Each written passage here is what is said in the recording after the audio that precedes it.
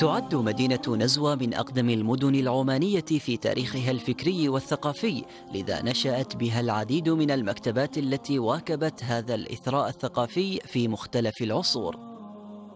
مكتبة بني سيف إحدى هذه المكتبات العريقة التي يعود تاريخ تأسيسها إلى القرن الثالث عشر الهجري.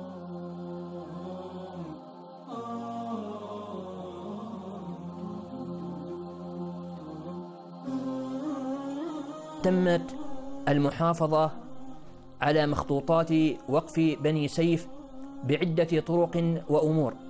من هذه الأمور حفظها في خزانات وكانت هذه الخزانات توضع في غرف خاصة.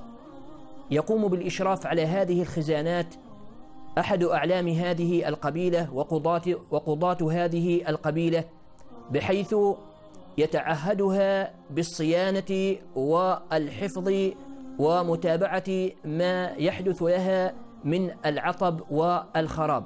فإذا وجد شيئا من الخراب اعتنى به مباشرة وقام بإصلاحه. بل نجد في بعض المخطوطات والوثائق ما يشير إلى أنه يتم استنساخ وإعادة نسخ الكتب التي تلفت أو تلف شيء منها. وكذلك كانت العناية والمحافظة بمخطوطات وقف بني سيف عن طريق مؤسسها الأول خميس بن محمد السيفي حيث وقف لها نصف أثر ما من فلق الغنتق. وكان هذا النصف الأثر الذي وقفه في حياته مرده إلى حفظ المخطوطات وصيانتها والعناية بها. قام بتأسيس هذه المكتبة الشيخ خميس بن محمد السيفي ثم اعتنى بها عناية خاصة العلامة القاضي محمد بن خميس السيفي. لذلك نشاهد بين جنباتها العديد من مؤلفاته مثل كتاب جواهر العقد الثبين وكتاب اللامية في أئمة اليعاربة والنصوص في أئمة بني خروس والمعرج الأسنى في شرح أسماء الله الحسنى. ثم من الأعلام الذين اعتنوا بالمكتبة العلامة سعيد بن ناصر السيفي وأخيه القاضي الشيخ الفقيه أحمد بن ناصر السيفي وقد وقف الأخير مكتبته بما فيها من المخطوطات لذرية ناصر بن محمد أبناء خميس السيفيين.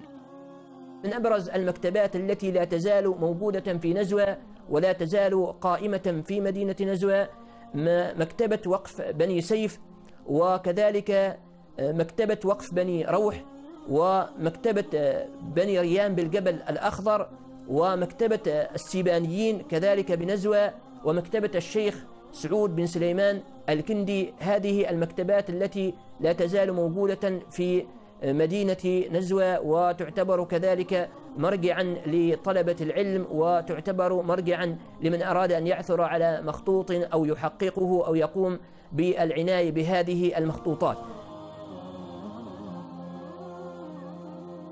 ومن ضمن المخطوطات الموجودة في المكتبة تمهيد قواعد الإيمان وهي فتاوي جمعها الشيخ العلامة محمد بن خميس السيفي لشيخه العلامة سعيد بن خلفان الخليلي وكتاب بيان الشرع وتمهيد قواعد الإيمان والمصنف وهذه كتب تم طباعتها.